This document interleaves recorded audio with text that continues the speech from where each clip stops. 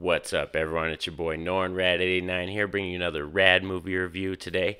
I know it's been a while since I've been posting videos, but I had some problem with my tech, a lot of real life stuff going on too, so kind of just took like a little hiatus, time off. Thanks to all my new subscribers and everybody who's come to the channel. I hope you stick to the channel.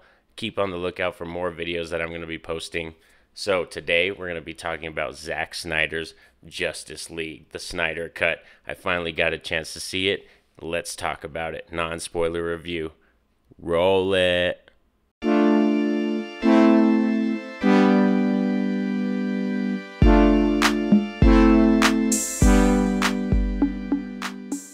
So, as you can see, I got my Justice League shirt on here to talk about Zack Snyder's Justice League, the Snyder Cut definitely an improvement from the 2017 version that we got. I was expecting an improvement for sure. I love Zack Snyder. He's a great director. I love his style and the way he sees things and the way he portrays his images and stuff that he storyboards and everything on screen. Like it's very beautiful. And this was a great improvement on the 2017 Justice League that we got back in that time. So this one, like I said, as far as character development, story content. The skeleton of the story is still the same in this film, but just the journey that he takes us on for these four hours is amazing. It's so much better, so much more cohesive, and every character from Batman, Flash, Superman, Wonder Woman, Cyborg, they all have their moments in this movie to shine and it really does them justice for sure as like, you know, no pun intended in Justice League, but Zack Snyder really did do honor to all of the characters. You can tell he loves this content, he loves this universe and this world, and he really did justice to all the characters as far as the way it looks. Oh my god, the graphics,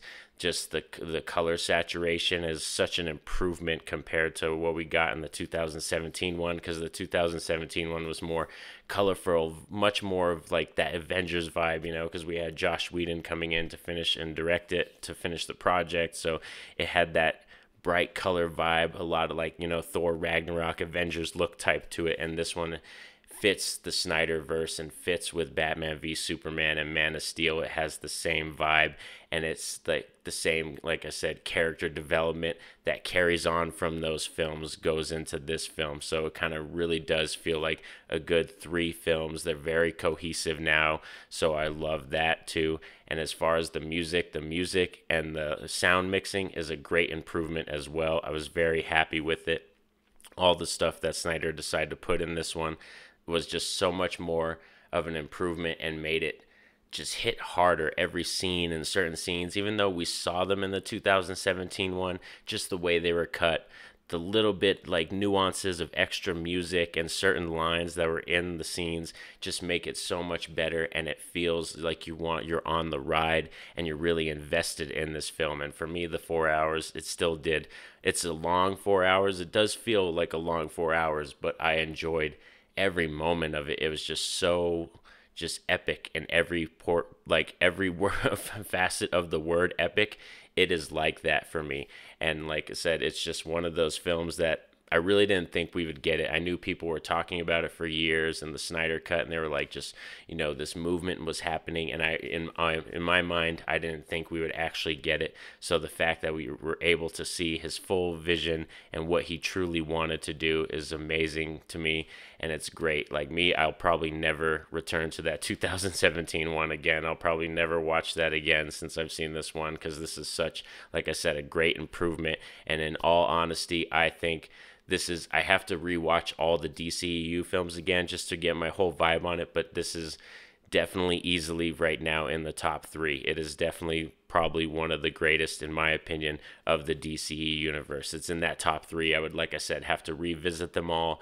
watch them again, but right now it's floating around that number 3, number 2 spot for me. It's four hours long and it's definitely an investment, but it's such a great investment. Like I loved it. I like I said, loved every moment, and it's gonna be one of those films that you're never gonna forget. That's on screen and just being able to see it and see it happen. It's great. And like I said, it's definitely easily one of the best DCEU films that we've gotten so far in this universe. And I really do hope we're able to continue more. So that's that's the problem with me. That's the only thing I could think really negative about it is if nothing else really comes of this, it's going to hurt. It's going to be one of those films where I watch it and it's going to be like most deserving of a sequel or some kind of carry on, you know, story to make us to see what happens next. It's going to be one of those films if they don't end up doing stuff with the rest of the Snyderverse. So, but like I said, I loved every moment of it. All the characters are so much better. The color, the music, the way it looked, the cinematography, the epicness of the story was so much better.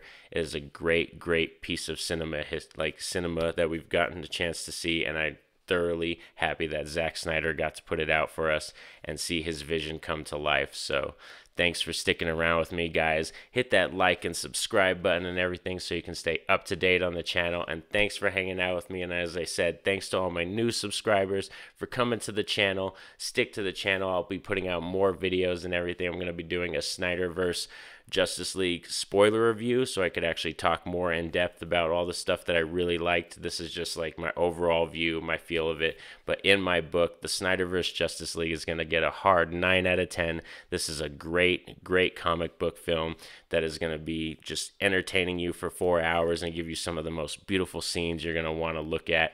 And all the characters are going to have their moment and you're going to love it. So, Thanks for sticking around with me, guys. Leave your comments down below, too. Tell me what you thought of the film, and have a safe and happy day. Peace out.